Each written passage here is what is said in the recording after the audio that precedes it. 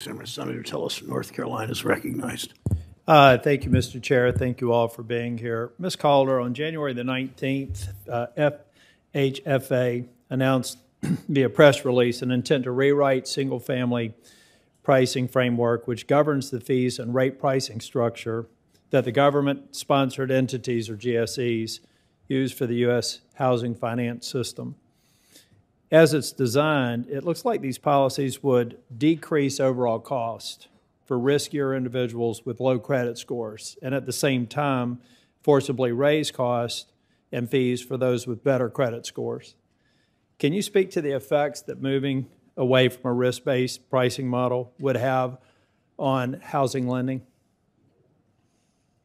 Um, yes, happy to try. Um, I think that this rule, it's, it seems to me that it sets up the wrong incentives um, for folks. Obviously, you know, people save money over time for their down payment. They work hard. They pay their bills on time, and those people under this rule would actually be penalized, um, which seems like uh, not the not the right strategy to set up a sure financial, um, you know, footing um, for our economy. Certainly in that in the housing sector, I think something that concerns me um, quite a bit is just that we are starting to be in a deflating market. Um, and as a result of that softening market, I think we really should be very careful right now about pulling marginal buyers into the housing market at the right time. You know, we don't want to set those folks um, that would be stretching um, and maybe wouldn't be qualified otherwise to, um, you know, purchase, take out these loans, take out this mortgage we don't want to set them up for failure. We don't want to set these folks up for bankruptcy. Um, we don't know if there will be a recession in the near term, short term, um, but it seems like the, the wrong time to be making these types of decisions. And I should say also, more broadly, this may be a less popular opinion. I think in the US we have a tendency to sort of romanticize homeownership when the reality is that homeownership isn't right for everybody in every circumstance, um, and renting can actually be a superior option than uh, as compared to home ownership for many. Um, you know, home prices can be volatile, um, and home ownership really is an obstacle to mobility. And you want people to be able to match with jobs and um, follow, you know, find opportunity and and services and amenities, and be able to move to places in order to obtain those things. Um, uh, just following that vein, uh, despite their uh, press release yesterday, FH FA director, Sandra Thompson, said that this rule would increase pricing support for purchase borrowers limited by income or by wealth.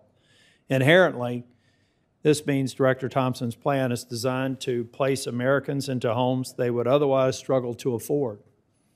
Considering the causes of the subprime loan crisis in 2008 during, and, and a recession that followed, is selling people houses they would struggle to afford generally a good idea?